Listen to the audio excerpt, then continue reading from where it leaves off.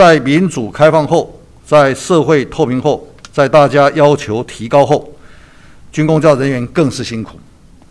这个辛苦都是夜以继日，尤其现在有了手机之后，那更是没日没夜，也几乎没有什么上下班时间可言，朝九晚五的日的日的生活。尤其是民选的首长后，军工教人员更是辛苦，整个我都是点滴在心头。而且是从台湾尾做到台湾头，从基层做到今天中央最高的行政机关。而大家的努力，我们先提高了劳工基本工资，先提高时薪，再提高纳税相关的减税数额。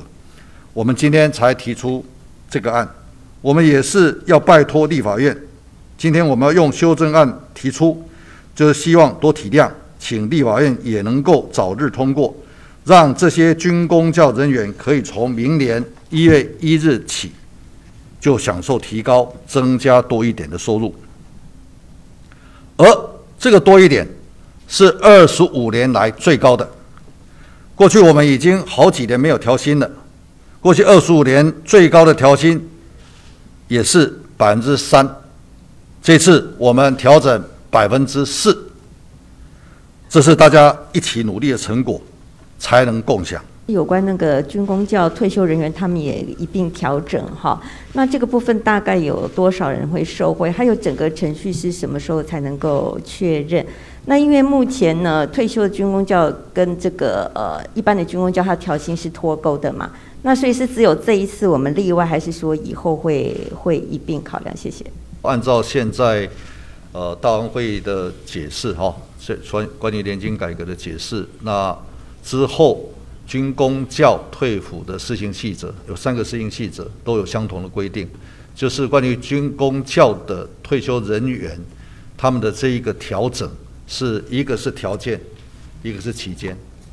那以现在这个时候来看的话，条件还没成就，也就是说要物价指数超过正负百分之五。